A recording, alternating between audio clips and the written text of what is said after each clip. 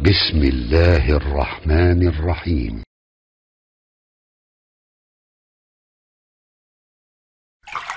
Lihat baik-baik.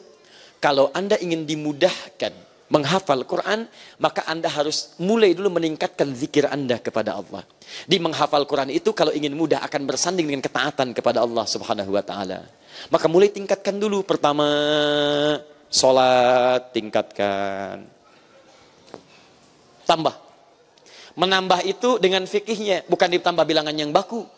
Berarti besok saya harus tambah. Subuh kemarin dua, besok tiga insya Allah. Loh. Tidak, tetap dua. Tambah dengan sunnahnya, malam tahajud. Tahajud. Makanya ketika anda tahajud, ayat Qurannya turun.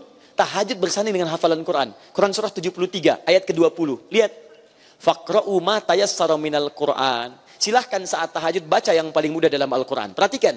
Ketika anda menambah ibadah zikir kepada Allah lewat salat, di situ Allah jamin kemudahannya. Lihat, Walakad yassarna, yassarna, yassarna pakai yusrun. Saat tahajud, fakra'u ma tayassara, tayassara. Masih dari kata yusrun. Artinya kalau anda tingkatkan amal soleh, tingkatkan tahajud. Tingkatkan kedekatan pada Allah. Allah pun tingkatkan kemudahan Quran hadir dalam benak anda. Dimulai tingkatkan amal soleh dulu. Salat tingkatkan. Sunnahnya keluarkan. Infak tingkatkan. Sedekah tingkatkan. Kemudian jaga tubuh kita supaya zikir pada Allah. Mulai hari ini, kalau Anda ingin hafal Quran, mata Anda jangan sembarangan melihat. Jadikan mata hanya yang melihat ingat dengan Allah Subhanahu wa taala. Ada yang menjauhkan dari Allah, tinggalkan, jangan pandang. Anda ke mall, lihat makanan yang menjauhkan dari Allah, jangan lewat, lewat aja. Lihat pakaian, lihat yang terbaik. Akhwat, cari pakaian-pakaian yang mendekatkan Anda dengan Allah. Sepanjang Anda belum mendekat, susah Anda mendapatkan Quran. Quran itu suci, dia tidak akan datang pada pikiran yang tidak suci, pada tindakan yang tidak suci. Gak mustahil, gak bisa. Gak bisa. Makanya kalau para akhwat ingin cepat menghafal Quran, ingin dipercepat, ayo perbaiki penampilannya. Dekatkan dengan Allah. Mulai berhijab. Hijab dengan baik. Dekatkan pada Allah. Antum yang ikhwan cari yang baik-baik. Makanan yang halal. Jauhkan dari riba. Jauhkan dari yang tidak baik. Begitu yang baik-baik masuk, yang kotor keluar. Zikrun masuk, Quran akan cepat masuk. Karena itulah saya buka rahasia tertinggi di sini. Siapa orang paling taat di hadapan Allah subhanahu wa ta'ala? Kalau tidak tahu katakan. Hmm. Nabi Muhammad sallallahu alaihi wasallam. Karena itu disebut dengan Ahmad. Ahmad, puncak ketaatan. Bentuk sirah mubalak, superlatif. Dari kata Hamid. Hamid yang loyal dalam satu jenis ibadah.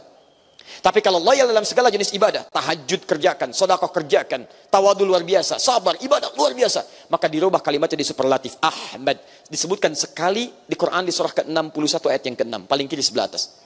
Min ba'dismuhu Ahmad. Nah, lihat baik-baik ketika Nabi rajin sholat, rajin tahajud, rajin mendekat, rajin macam-macam. Lihat baik-baik ya. Ada rahasia besar di Quran surah ke-75 ayat 16 sampai 18. Ketika wahyu turun pertama kali, Nabi ingin cepat menghafalkannya. Biasanya karakter orang yang ingin cepat hafal Quran dia akan cepat melafadkannya. Sama dengan orang saat akan ujian kan cepat mengulang-ulang kan? Rumus gaya F1 sama dengan F2. F sama dengan berbanding dengan V. Rumus jarak jarak S sama dengan V dikali T. Kalau mencari V sama dengan S dibagi dengan T. Kalau mencari T sama dengan S dibagi dengan V. Oh, diucapkan, diucapkan, supaya masuk dalam benaknya. Tayyib. Nabi juga begitu. Begitu turun ayat, bacakan cepat di lisannya. Bacakan cepat. Karena Nabi orang paling takwa. Banyak zikirnya pada Allah. Banyak kedekatannya turun langsung ayat. La tuhannik bihi lisana kali ta'jalabi. Muhammad, gak usah cepat-cepat menggerakkan lisanmu hanya sekedar ingin cepat menghafalkannya. Inna alaina jam'ahu wa qur'ana. Biarkan kami yang menanamkan Quran dalam jiwamu dan membimbing kamu untuk bacaannya. Fa idza qara'nahu fattabi' qur'ana. Nanti kalau kami sudah bimbing Quran dalam jiwamu ikuti bacaannya. Kami mudahkan untuk mendapatkan Qurannya. Rahasianya. Kami pernah keluarkan rahasia ini dengan teman-teman para penghafal Quran. Diterapkan teman-teman jadi konsep menghafal Quran dalam 30 hari. Yang diberikan pertama kali bukan suruh menghafal, tapi diobati kekurangannya yang jauh dari Allah. Lisan yang kurang baik, isolasi dulu. Istighfar, istighfar. Matanya lihat yang baik-baik dulu.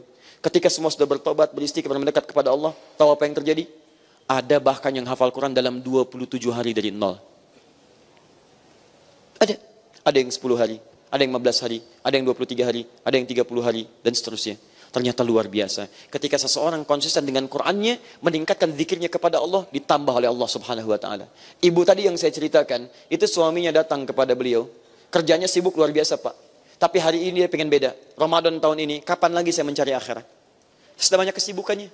Meninggal, rumah tidak akan menyelamatkan saya. Kendaraan tidak akan mengantarkan saya ke surga. Yang mengantarkan saya ke surga amalan saya. Maka dia bikin rencana, Ramadan tahun ini saya ambil cuti. Cutinya dia susun. Cutinya saat itikaf. Dia nggak ambil cuti dulu, untuk itikaf saya akan ambil cuti. Allahu Akbar. Begitu disampaikan pada istri-istri mendukung. Ma, Papa ingin jadi penghafal Quran. Bismillah. Itikaf sekarang, saya akan rencanakan hafal tiga juz. Dia hafalkan sesuai niatnya tiga juz. Kemudian dia berangkat. Begitu suaminya pamit pada istrinya. Ingin jadi penghafal Quran, menatap istrinya dari kejauhan, muncul rindu dan syahdunya. Ya Allah, jadikan pula saya menjadi pendamping penghafal Quran. Karena rumusnya, kalau orang sudah baik, maka pasangannya akan dijadikan baik. Kalau pasangan tidak ingin menjadi baik, akan dipisahkan oleh Allah Subhanahu Wa Taala. Seperti Fir'aun dipisahkan dari Asia. Ya, seperti Nabi Nuh dipisahkan dari istrinya. Seperti Lut dipisahkan dari istrinya. Tapi jangan ambil cepat kesimpulan. Oh berarti kalau sudah saya baik, suami nggak mau ikut, saya harus pisah. Oh tidak. Anda ditugaskan untuk mendorong suami Anda jadi lebih baik. Kalau ibu istri ingin jadi suami soleh, dorong dia. Awas saya tidak ingin mendengar kalimat ini lagi. Ada seorang akhwat mengaji kemudian setelah itu merasa baik, suaminya dipaksa jadi baik, tidak sabar dengan proses. Sampai menyimpulkan, lebih baik saya mencari pria sunnah daripada berumah tangga dengan pria bid'ah. 17 tahun dia mendampingi Anda. Ya, ayo ajak dia, ajak dia, ajak dia. Begitu suami menjadi penghafal Quran ditanamkan oleh Allah di dalam jiwa istrinya keinginan menghafal Quran.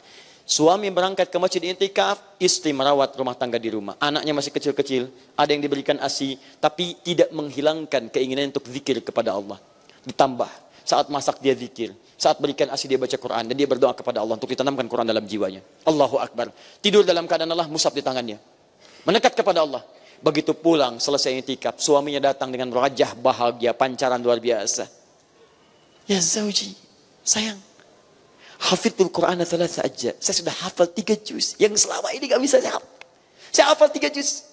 Pancaran bahagia. Istrinya menyambut, tidak menyampaikan kalimat apa pun dicium. Masya Allah. Tiba-tiba dalam keadaan demikian sudah tenang, dijaga perasaan suaminya.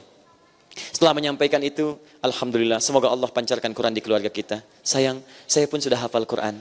Berapa juz? 30 juz. Masya Allah. Suami 3 juz, istri 30 juz. Dalam berapa hari? 10 hari. Apa yang diisi pertama kali? Bukan hafalan dulu, tapi perbaikan pribadi kita dulu. Maka saya sarankan pada antum pulang ke rumah, lihat yang di rumah. Acara-acara tidak baik, tepikan. Ayo pasang parabola, pasang yang lain, pasang akhir TV, pasang macam-macam, hadirkan yang halal-halal. Hidupkan Quran. Yang dengar-dengar musik mulai ganti sekarang. Quran aja, beli speaker aktif. Buka Quran, Quran, Quran, 24 jam setel. Karena ingat pendengaran kita akan cepat menangkap. Begitu cepat-cepat Quran, Quran, Quran, Quran, insya Allah akan dipercepat oleh Allah Subhanahu Wa Taala. Majalah yang dilihat tepikan, yang ada yang bagus-bagus saja. Jadi anda lihat yang bagus, dengar yang bagus, berjalan pada yang bagus. Di dapur dengar Quran, di kamar dengar Quran, baik ke mana-mana dengar Quran. Sepanjang yang baik-baik, maka Quran akan ditanamkan di rumah anda. Demi Allah saya katakan, anda silahkan coba, anda rasakan bedanya, bedakan rasanya, dan pasti akan terasa bedanya.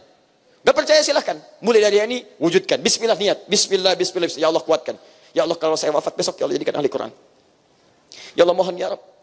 Jangan wafatkan saya kecuali ada kalimat Quran di benak saya. Wafatkan saya saat membaca Al-Quran. Wafatkan saya dalam keadaan dekat dengan Quran. Wafatkan saya Allah menjadi ahli Quran. Ya Allah jadikan keluarga kami jadi ahli Quran ya Allah. Jadikan anak saya memberikan mahkota untuk keluarganya ya Allah. Untuk bapak ibunya ya Rabb. Mohon ya Allah. Sebelum saya wafat beri kesempatan untuk menghafal Quran. Minta dan robah perilaku anda dalam kehidupan. Demi Allah saya katakan anda akan dapat anugerah yang tak terduga nantinya. Anda tidak percaya, mulai niatkan malam ini, bangun tahajud dan mohon kepada Allah satu keluarga. Sentuh, minta kepada Allah. Puaskan, alirkan tangisan, mohon dalam sujud. Demi Allah saya katakan besok Anda akan mendapatkan sesuatu yang berbeda. Kalau Anda tidak mulai hari ini, tidak mulai malam ini Anda terlambat teman-teman sekalian.